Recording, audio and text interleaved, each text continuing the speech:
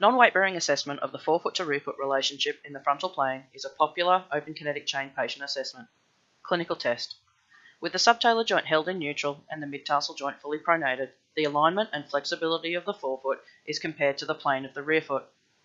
Alignment options include rectus, which is in plane, varus, when the first metatarsal head appears higher with respect to the fifth metatarsal head, or valgus, when the fifth metatarsal head appears higher with respect to the first metatarsal head.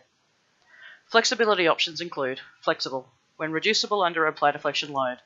A flexible forefoot varus or forefoot supinatus is reducible under a plantar load on the dorsal first metatarsal head.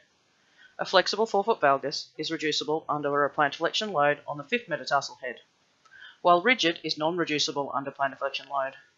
A rigid forefoot varus is not reducible under a plantar load on the dorsal first metatarsal head.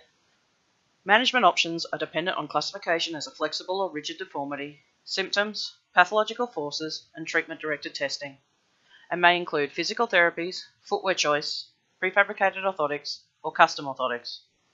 Orthotic considerations include support for rigid deformities with forefoot extensions, or encouragement of flexible deformities into plane with various design options.